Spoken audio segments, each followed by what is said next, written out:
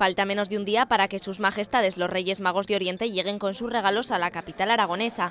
Por ello, este lunes la comitiva real ha trabajado sin descanso con el objetivo de ultimar todos los detalles de la cabalgata para que salga lo mejor posible. Una cita en la que los Reyes Magos aparecerán de una forma muy especial. Sabéis que en realidad los reyes llegan a Zaragoza desde... El modo no lo sabemos, son mágicos y tienen sus secretos, pero llegan.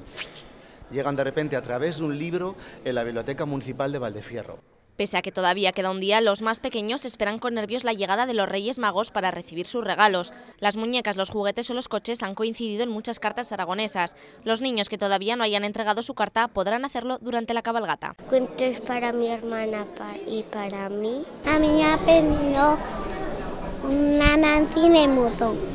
La camiseta del Barcelona y también un estuche dos muñecos de Star Wars y un disfraz de Star Wars. Unos juguetes que podrán abrir la mañana de Reyes siempre y cuando se hayan portado bien, ya que, aunque la mayoría asegura haber sido buenos, las mamás no lo tienen tan claro. ¿Y te has portado bien? Sí. ¿Eh? ¿Cómo? Mamá no está muy de acuerdo. Una noche mágica que contará con una cabalgata diferente donde la luna estará acompañada de hadas, duendes, elfos o pescadores de sueños.